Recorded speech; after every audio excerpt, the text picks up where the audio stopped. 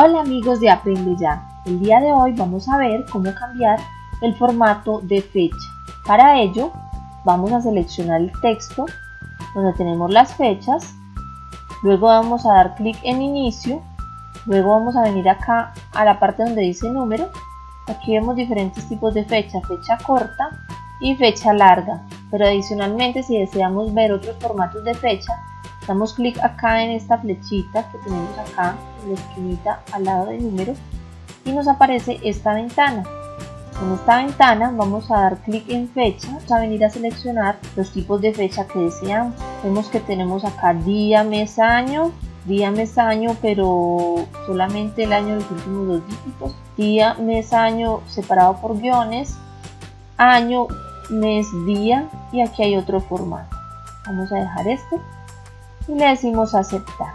Vemos cómo van cambiando. Vamos a seleccionar otro formato para ver el cambio. Bueno amigos de Aprende Ya, eso es todo por hoy. Nos vemos en una próxima entrega. No olviden suscribirse y darle me gusta.